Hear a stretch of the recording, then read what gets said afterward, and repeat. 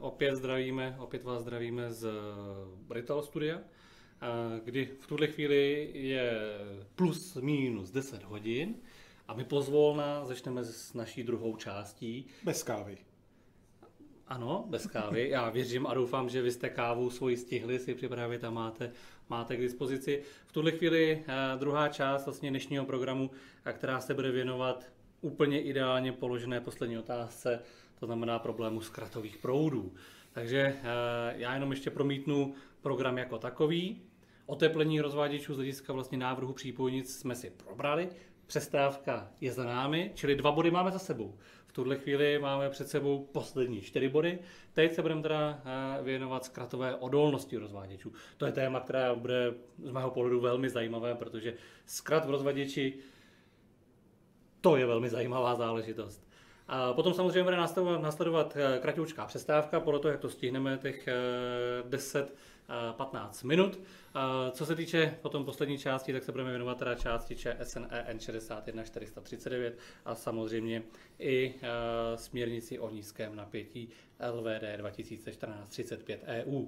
Tak a já v tuhle chvíli už nebudu dále zdržovat a věřím a doufám, že všichni už stihli tu desátou hodinu a vrátili se, čili budeme otázku, co vlastně si chceme říct Eh, my si teď budeme vlastně ukazovat, jednak eh, trošku rozpitváme ten zkrat, co se vlastně za tím zkratem skrývá, protože ten zkrat ve skutečnosti se skládá ze dvou, minimálně dvou takových složek.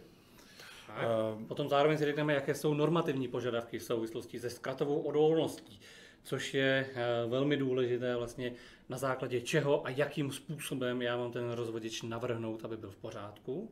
No a v podstatě taky, co s tím souvisí, znát vlastně materiály, podklady, kam kouknout, když chci navrhnout správné přípojnice z hlediska zkratu. Tak, co se týče zkratu, co je to vlastně zkrat? Pavel připravil krásný obrázek, já za něj Pavle děkuji. Eh, co je to zkrat? Zkrat je vlastně otázka toho, když se mi někde něco spojí. To znamená, jedná se téměř bez odporové spojení eh, dvou pólů elektrického vodu a je tam samozřejmě různé elektrické napětí. To znamená, může být buď to mezifázový zkrat, anebo zemní zkrat. Čili podle toho, jaký mám. Tady máme samozřejmě simulovaný zkrat, včetně oblouku, Znamená, vidíte, že to je samozřejmě ze zkoušky, protože podle rozvaděče je i pole s bavlnkou, to znamená, je to samozřejmě simulovaný bezpečný zkrat, ale v tomto případě doprovázen i obloukem. Ono ve své podstatě u větších přípojnicových systémů můžeme říct, že plus minus 50% zkratů, což je polovička, poměrně dost, je doprovázeno menším či větším obloukem. A zkrat jako takový je samozřejmě velmi nepříjemný pro rozvaděč i obsluhu, ale oblouk je pro obsluhu samozřejmě velmi nežádoucí a velmi, velmi nebezpečný.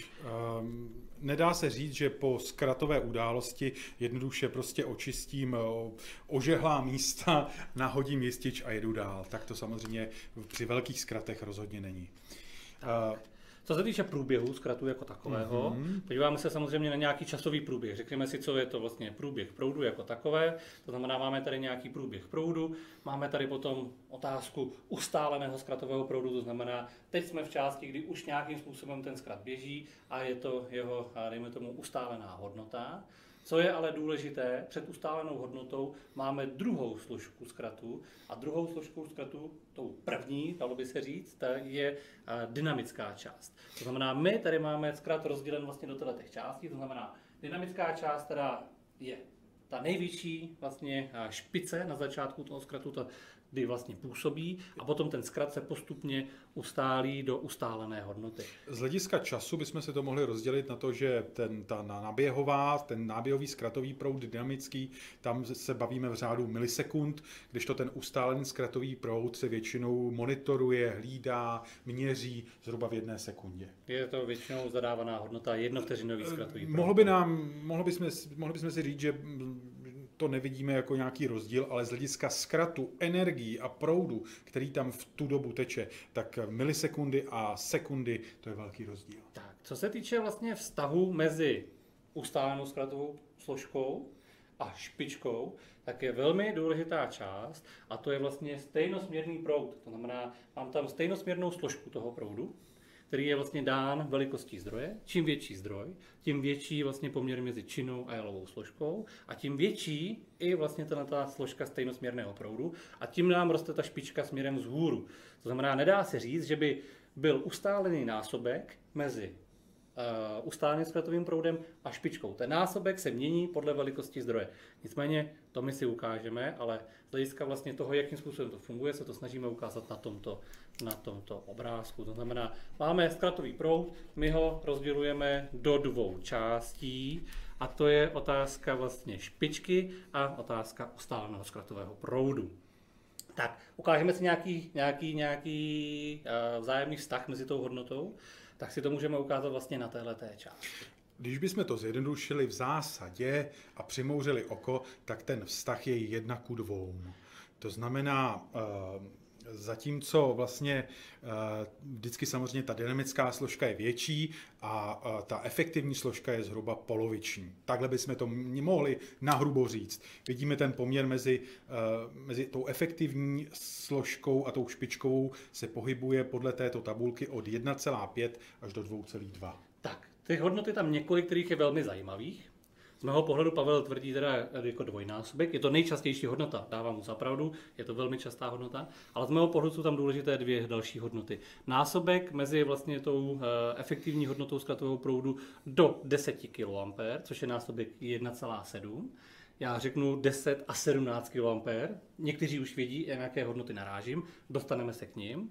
A potom je to samozřejmě hodnota i nad 50 kA, což je násobek 2,2. Velmi často třeba požadavek na 110 kA a tak dále. To znamená, to jsme vlastně schopni eh, všechno, všechno dát dokupy. Jenom ukážu, ukážu vlastně hodnoty jako takové. Co z hlediska zkratu, co bychom si mohli ukázat? Já bych se vrátil k našemu přípojnicovému systému Reline 60. Souhlasíš? Určitě. My tady chceme ukázat jednak ten průběh zkratu a taky, co se děje při zkratu. Máme připraven několik videí. Většinu těch videí ti, co nás sledují pravidelně, už viděli. Ale samozřejmě, že tady existuje při zkratu to, co se děje, jednotlivé přípojnice, fázové přípojnice a samozřejmě i potom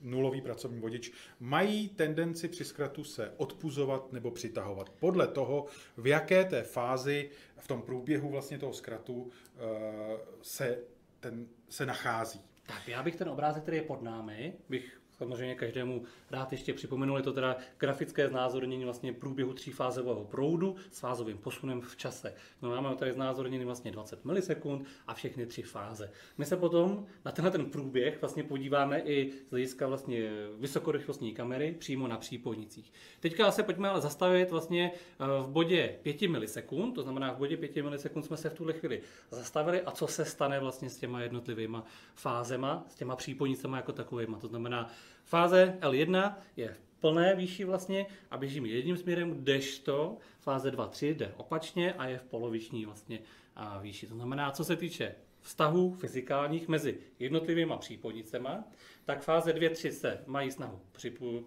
e, přiblížit a přípodnice 1, 2 samozřejmě se odpuzují. Tím pádem ta síla je vlastně tímto způsobem směřována.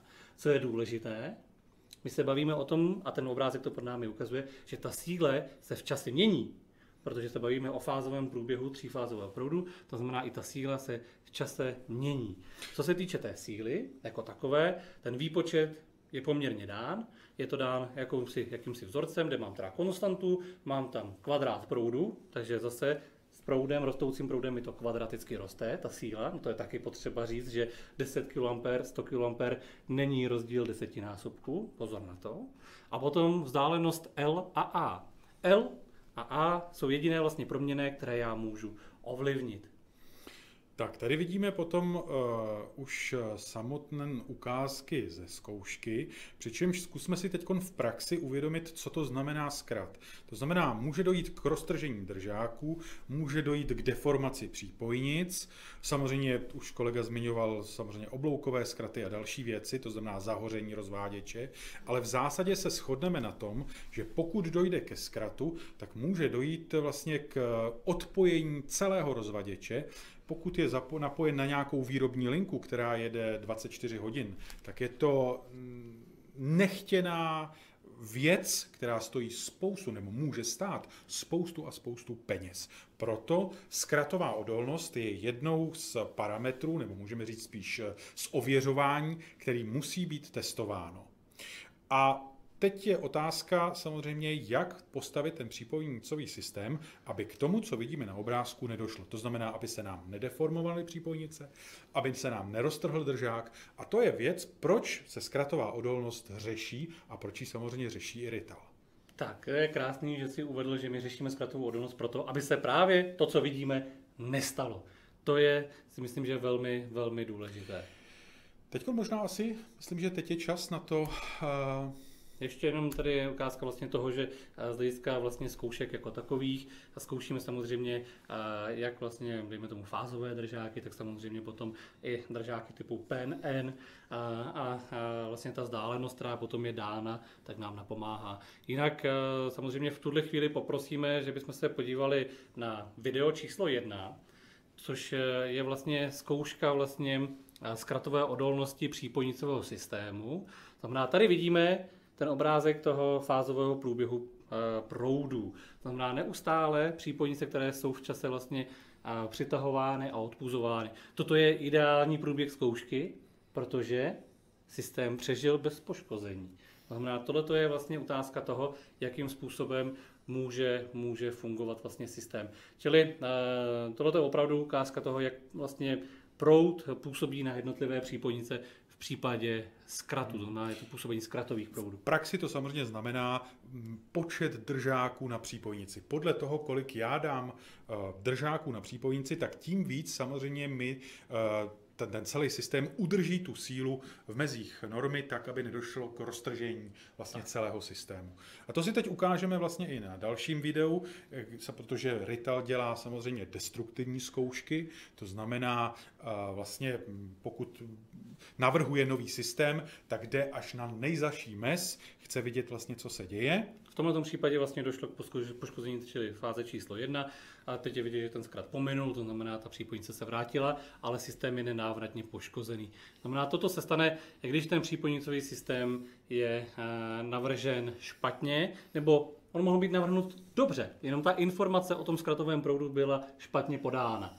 To znamená, ten systém je vlastně poddimenzovaný a ta síla, která působí na ten přípojnicový systém, je větší, než eh, bylo spočteno nebo uvedeno. Tak, tohle je ještě otázka, která vlastně může nastat. Poprosíme o video číslo 3. A video číslo 3 vlastně nám ukazuje, co se stane, když se to opravdu přežene. To znamená, že ten zkratový proud je významně větší, než bylo buď to uvedeno, nebo bylo spočteno. To znamená, Zkratový proud je doprovázen potom i obloukem. Toto už je samozřejmě pro tu obsluhu je velmi nebezpečné. Nejenom, že teda uh, mé zařízení nefunguje a nebude fungovat dlouhou dobu, ale uh, pokud byla přítomna obsluha, tak samozřejmě byla uh, i ohrožena. Samozřejmě, kdy může nastat zkrát Většinou nastává zkrát při uvedení do provozu, při údržbě, to znamená, něco se stane, někde něco upadne, to znamená, tam bohužel ta obsluha může být. A nebo může nastat v případě, tak jak jsme ukazovali třeba v oteplení, když se poruší nějaká izolace z hlediska teplotní degradace, tak samozřejmě potom může nastat zkrat jako takový. Takže to jsou podmínky vlastně toho, kdy může být. A já si se nepletu, tak v tuhle chvíli poprosíme o video číslo 4. To video číslo 4 ukazuje, že samozřejmě síly nepůsobí jenom mezi fázovými vodiči, ale ty síly působí dokonce i eh, mezi skříní, pláští skříně a třeba eh, tímhletím eh, pracovním ochranným vodičem. Vidíte vlastně, že tam ten ochranný vodič dostal opravdu velké dynamické namáhání. Možná si to pustíme ještě jednou, protože to bylo takový rychlý. Jedna z věcí, která v rámci zkratu a v rámci normy 61439 eh, je daná, tak je to, že se neskouší jenom přípojnicový systém, to znamená fázové vodiče, co se týče zkratu, ale musí být naskoušen i ochranný vodič. Samozřejmě to platí za nějakých podmínek, myšleno, že existují případy, kdy se nemusí zkoušet zkratová odolnost a ani uh, zkoušet uh, zkratová odolnost ochranného vodiče, ale to si ještě řekne. K tomu se dostaneme. Tady jenom uh, bych chtěl ukázat, že vidíme vlastně obě dvě části zkratového proudu. A to vidíme jak to dynamické namáhání v tom pohybu, tak vidíme i to tepelné namáhání, a což je vlastně tím, jak nám odlétávají jednotlivé části vlastně té měděné přípojnice. V tuhle chvíli věřím, že elektrické spojení mezi skříní a přípojnicí bude lepší protože po tomto oblouku došlo jistě k přivaření vlastně toho spoje. Nicméně, co je důležité, tak je opravdu potřeba vidět, že je potřeba zkoušet konkrétní věci v konkrétní skříni. Tady v tomto případě to krásně vidíme, že to uchycení vlastně je velmi důležité. To znamená, pokud by ta skříň byla z jiného materiálu, jiné konstrukce, tak já se nemůžu odkázat na to, že to někdo někdy zkoušel a, a nějakým způsobem mi na to upozorňoval. To znamená, norma jako taková 61439 na tohleto dbá a, a jasně hovoří o tom, že musí být konkrétní přípojnicový systém zkoušen v konkrétní skříni. Ono se to váže na více bodů, ať je to zkratová odolnost nebo potom i vzdušné vzdálenosti a tak dále, ale je tam potřeba opravdu ta konkrétní kombinace a já věřím, že tenhle ten, tohleto video jasně demonstruje proč. Ano. Uh tu a tam se setkáme právě s názorem, no já mám vyzkoušený přípovnícový systém někde na nějaký desce a já potom použiju nějakou skříň, která je taky vyzkoušená, ale nikdy nebyl zkoušen ty dvě věci dohromady. Každá eh, renomovaná laboratoř tohleto schodí ze stolu. Tak, tady jenom jsme si ukázali vlastně videa, to se stane když. Já věřím, že to video mohlo být eh, minimálně trošku inspirativní, protože eh, věřím a doufám, že většina z nás zkrat v reálu nezažila. Ten, kdo jej zažil, tak si uvědomuje, jaké vlastně následky to může mít a proto ten návrh dělá v pořádku. Tak, a ze základu čeho já budu vycházet z hlediska, z hlediska návrhu, návrhu vlastně e, přípojnicového systému. To znamená, máme tady normu, a 61 439. Když se budeme bavit o části 10 10, což bylo oteplení, dneska se budeme bavit o části 10 11, což jsou vlastně zkratové podmínky jako takové. To znamená, my se v tuhle chvíli dostaneme do nějaké definice, že veškeré obory musí být zkoušeny s nejvyššími tepelnými a dynamickými namáháními, které můžou nastat. To jsme si ukázali právě proč, aby nedošlo k nějaké, k nějaké destrukci. Ale kde se bere to nejvyšší tepelné a dynamické namáhání? To se bere z největší pravděpodobností z nějakého zdroje. Hmm. Zdroj může být třeba diesel, v našem případě transformátor, takže my budeme považovat eh, za náš zdroj transformátor. Velikost tohoto transformátoru nám určí dynamický zkratový proud a i ustálený zkratový proud. Samozřejmě v našem případě tam může dojít i k tomu, že ta energie, která bude na svorkách toho transformátoru, se nám lehce utlumí na přiváděných vodičích. O tom se tady bavit nebudeme, protože ten přívod může být jak 100 metrový, kde bude ten útlum obrovský, anebo taky může být, a s tím jsme se taky setkali, transformátor hnedka vedle a přípojnictví propojen přímo na vzduchový jistič. Čili ten útlum jako takový neřešíme, řešíme opravdu tuhle chvíli tak, že máme zdroj, který mi řekne, jaký zkrat e, poteče, vyrobí a já na to ten rozvaděč musím konstruovat. Tenhle je to tak? Ten, ano, je to tak. Tenhle ten případ, eh, protože norma ještě hovoří o tom, že eh, samozřejmě se rozlišují dva způsoby, a sice když zařízení vlastně je nezávislý na eh, jistícím zařízení před zkratem, to znamená, já mezi tím transformátorem a svým rozváděčem nemám žádný jistič nebo zařízení, který by odjišťovalo ten zkratový proud. No a nebo samozřejmě tedy Potom druhá varianta je, že já tam mám předřazenou eh, nějaký ochranný, ochranný prvek. To znamená, máme dvě varianty. V tom prvním, jak Pavel říkal, nemám e, žádný jistící prvek, který by mi omezil ten zkratový proud a plný zkrat vlastně jak z hlediska špičky IPK, tak ustálenost zkratového proudu ICV mi jde do rozvaděče a já na to ten přípojnicový systém musím postavit. Což může někdy být problém, protože já třeba, když řeknu 60, jsem limitován hodnotou ustálenost zkratového proudu 37,5 kA. A pokud bych chtěl větší zkratový proud, tak ho vlastně nemůžu použít. Jo, takže pokud já bych chtěl použít tento systém a chtěl, měl bych ze zdroje větší zkratový proud, musím předřadit právě nějaké zařízení, které mi to a, omezí. A co mi to omezí? Může to být pojistka, která je vlastně vsazena do zařízení, anebo to samozřejmě může být pojistka, která je předřazena. To znamená, je to otázka, jakým způsobem já si s tím pohraju. Samozřejmě pokud já podmíním zkratovou odolnost rozváděče nějakým předřazeným zařízením, musím to v dokumentaci jasně napsat a popsat, aby tomu tak samozřejmě při té instalaci bylo. Protože jak jedno rčení říká, pokud pojistky nahradím hřebíky, vyhořím a začnu od píky. Takže tady je potřeba opravdu eh, dbát a to předřazené jištění dodržet. A zejména tehdy, pokud použijete nějaké pojistky, tak je samozřejmě v případě jejich poškození nahradí za stejný typ. Já pokud použiju pojistku, která mi eh, to bude ukázat následující slide, eh, nebo zařízení, který mi vlastně omezí ten zkratový proud na 17 kA, tak já v takovém případě potom nemusím vlastně eh, řešit eh, prokazování zkratové odolnosti mého zařízení, mého rozváděče. To je jedna varianta, kdy já nemusím řešit eh, zkratovou odolnost. A druhá varianta je potom, pokud ten zdroj v podstatě není schopen vygenerovat větší zkratový proud než krátkodobý výdržný proud 10 kA. Tak a já se tady zmíním ke své povídečce na začátku, tabulka e, dvojnásobku, jak se říká, jsem říkal násobek 1,7. Tady je krásně vidět, že ustálená hodnota do 10 kA není potřeba řešit. A pokud je mi špička uříznuta na hodnotě 17 kA, také není potřeba řešit. A víme, že vztah právě do těch 10 kA je násobek 1,7, čili to funguje vlastně i v této části. Jinak norma v té bodu 10.11.2 eh, hovoří i o třetí možnosti, kdy nemusím zkratové podmínky řešit, a to je tehdy, když jsem napájen z nějakého malého transformátoru o daném výkonu, který si vlastně můžu dohledat. Tohle je důležité, že já zkratové podmínky rozvaděče nemusím řešit. V některých případech. Ono opravdu, ta norma hovoří poměrně rozsáhle, co všechno se má dělat, ale potřeba si uvědomit, že ne všechno musí všichni dělat. To znamená, třeba těch 10 kA, 17 kA pomáhá třeba bytovým rozvodnicím, protože bytová rozvodnice většinou bude předištěna z nějaké fejfarky nějakou pojistkou a ta pojistka to bez problémů usekne a nikdy se tam nedostane více jak 17 kA špičky a tím pádem bytovou rozvodnici z hlediska zkratových podmínek, proč bych pro boha řešil.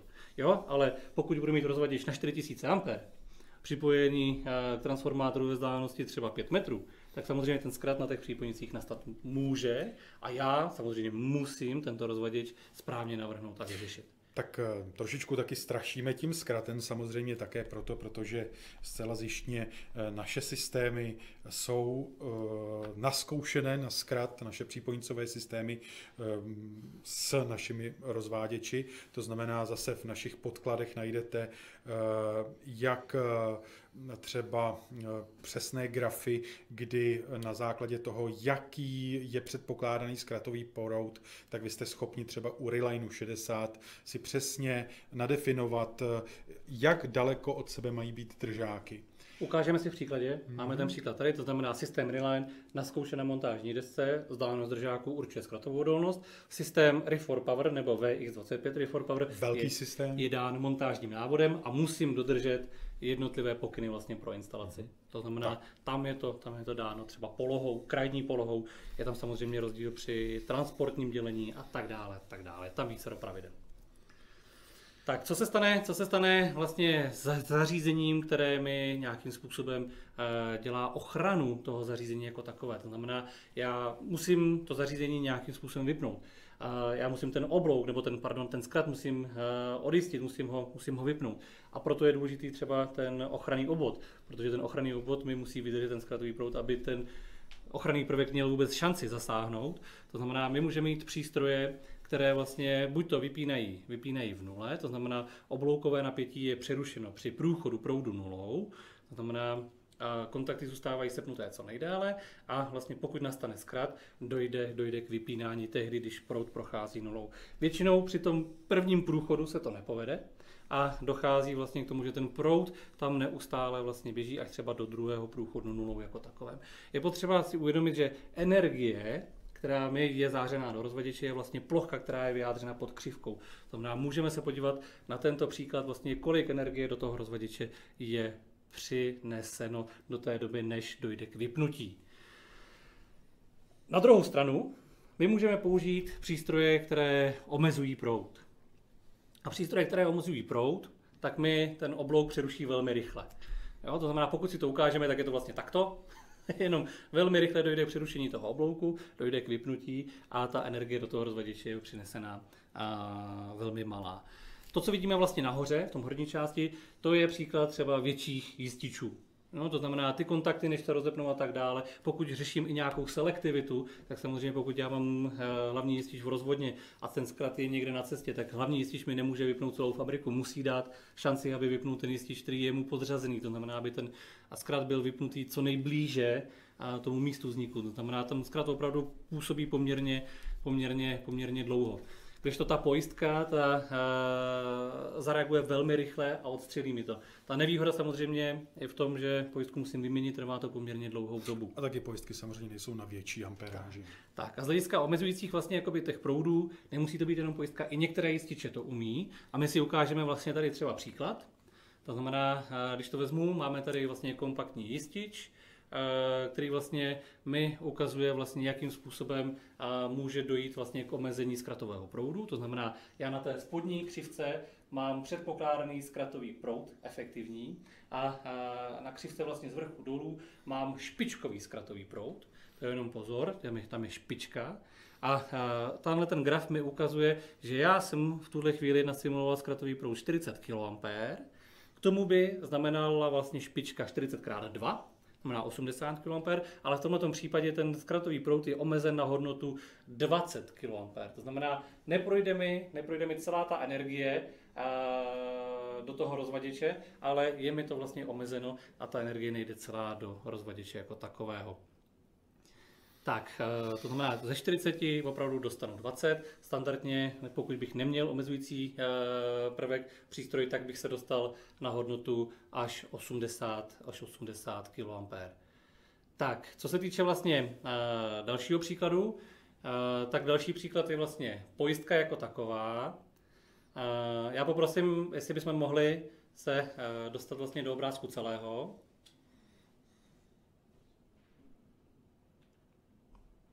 Tak eh, dostaneme se vlastně na tu ukázku, aby jsme to opravdu viděli, že jsme vlastně teda na eh, omezující hodnotě z hlediska 40 kA na 20 a když se dostaneme vlastně na další příklad, což je pojistka jako taková, tak pojistka může být ještě více omezující. Tady vlastně máme příklad z 30 kA efektivní se dostanu na 8,5 kA špičky.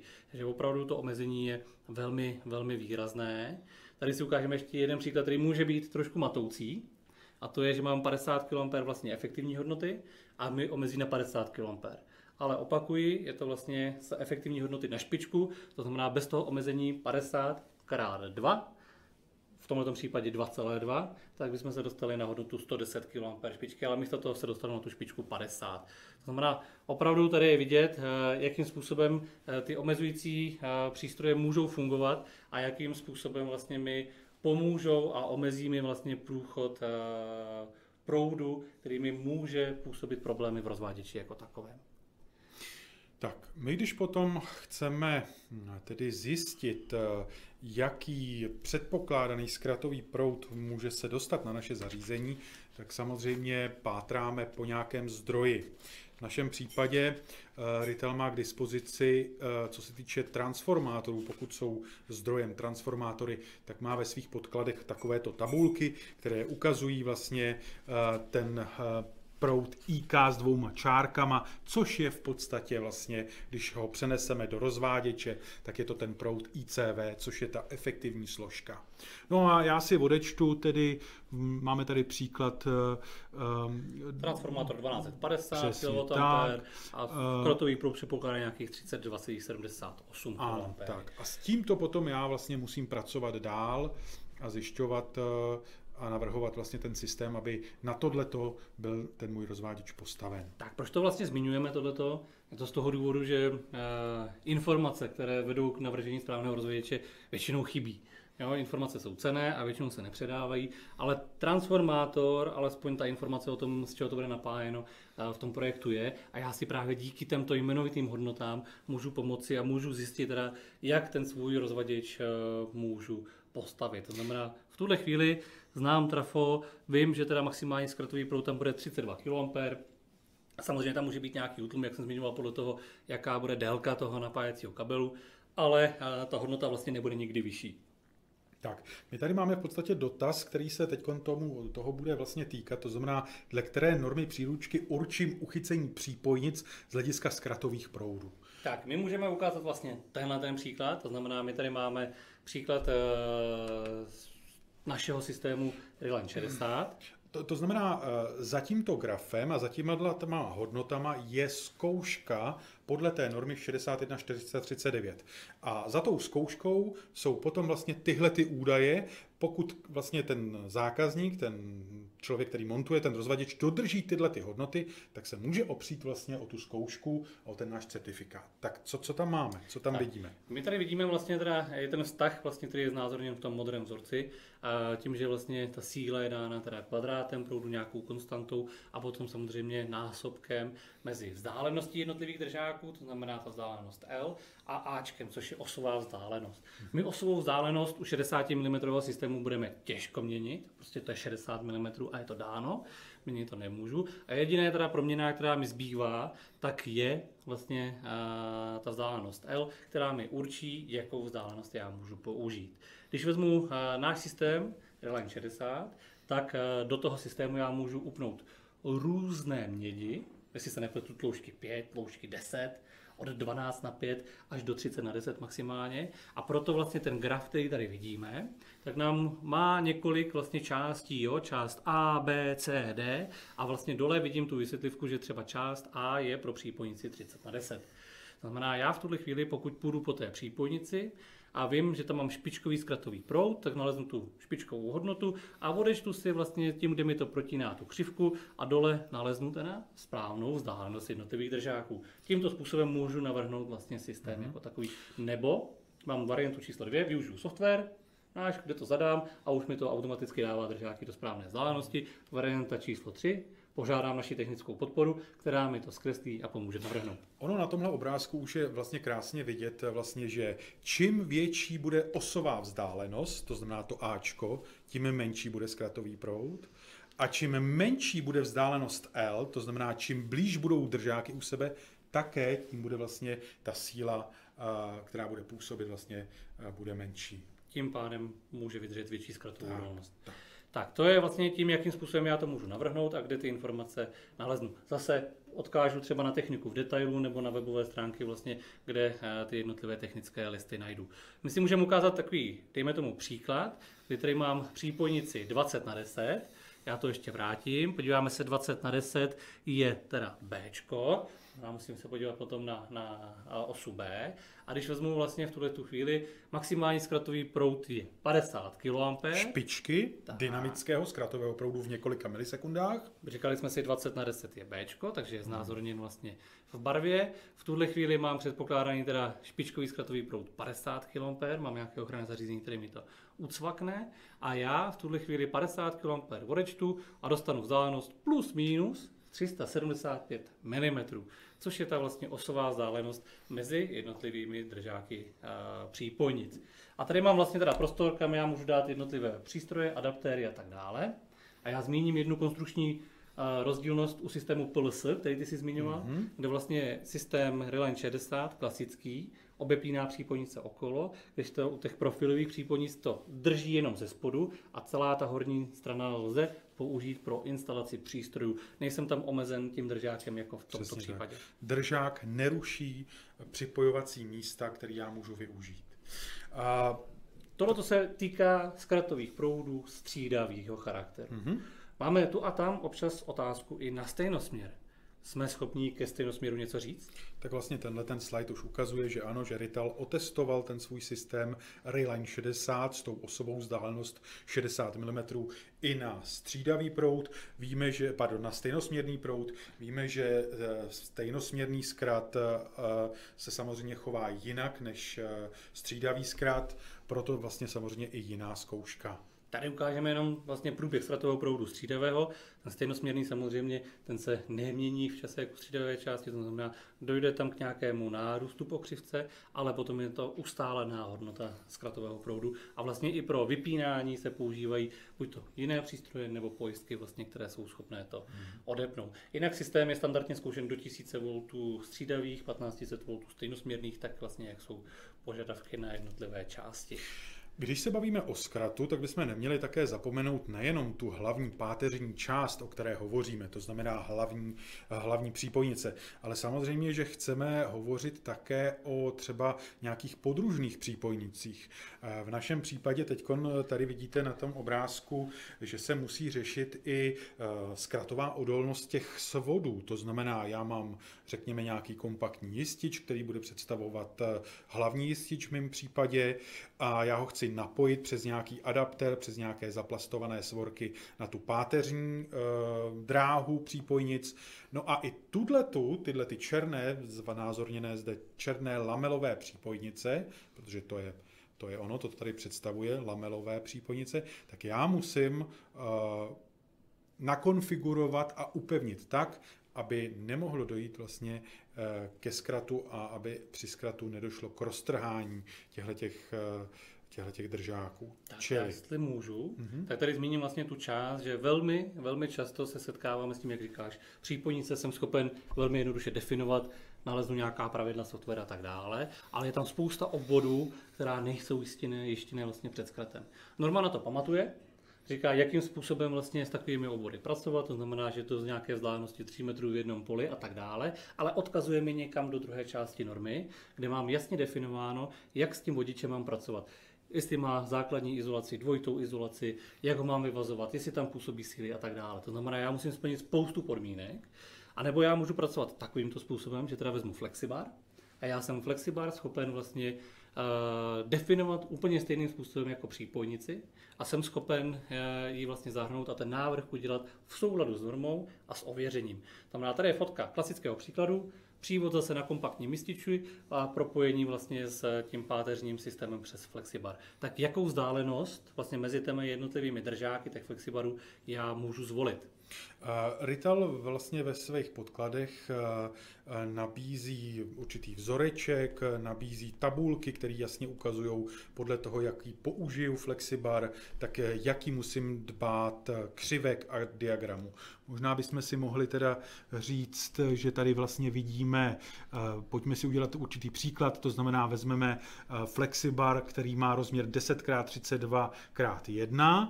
Vidíme tady, že podle proudové zatížitelnosti a oteplení já ho můžu zatížit od 1155 A až do 730, respektive obráceně od 730 A až do 1155 A, ale všimněme se tam potom té charakteristiky C, to znamená C a způsob montáže eh, dvojka nebo trojka. To je opět vlastně na základě zkoušek, který proběhly u Ritalu, takže to jsou tyhle ty naše podklady. To znamená, tady mám jinou osovou vzdálenost vlastně těch eh, ano. přípojnic jako takových. Jsou to přípojnice klasicky jako přípojnice, které jsou izolované, ano. takže v tuhle chvíli znám osovou vzdálenost a znám vzdálenost jednotlivých držák. Všimněte si, že pracujeme se stejnýma hodnotami. To znamená Ačko, osová vzdálenost, jak říká Leoš, ano. a potom L, to znamená odstup těch držáků, toho upevnění téhleté lamelové mědi. Tak. Úplně stejně vlastně potom skočím do grafové vlastně části té e, naší techniky v detailu, kde já si teda pro ten jednotlivý typ vlastně e, našeho, našeho systému odečtu e, vlastně podle zkratového proudu násobek, to znamená já podle 50 kA zjistím, že mám násobek 5,5 a potom vlastně tak. jsem schopen spočíst podle vlastně té osové vzdálenosti 65 mm i vzdálenost, která je vlastně mhm. dána, čili tím násobkem Všim, 5,5. Všimněte si toho vzorečku, který je vlastně uveden pod tím grafem. Ano, tam je to vlastně vidět, vlastně, že x, to znamená 5,5, se rovná vzdájemná vzdálenost opěr, neboli L, uh, lomeno rozteč, neboli A. A ta rozteč je dána vlastně vzdáleností kontaktu toho přístroje jako takového. Tu měnit nemůžu, ta je prostě dána fyzicky tím přístrojem jako takovým. Takže potom já odečtu tu vzdálenost, eh, že je 357,5 v tomto případě, čili 358 a zjistím i podle vlastně eh, té techniky v detailu, jestli se dostávám do té vzdálenosti minimální, maximální, jestli jsem mezi, to znamená minimální vzdálenost je 200 mm, maximální je 400, my jsme spočetli na 357,5, tím pádem se vejdeme vlastně do té části a známe, jakou osovou vzdálenost jednotlivých držáků máme umístit. Tak a dostaneme se k nabídce do systém, protože máme držák, máme lištu na držák a lišta na držák patří do skříně a samozřejmě v rastru 25 mm ji můžu posunovat nahoru dolů. Čili můžu si s tím opravdu hrát jako se stavebnicí.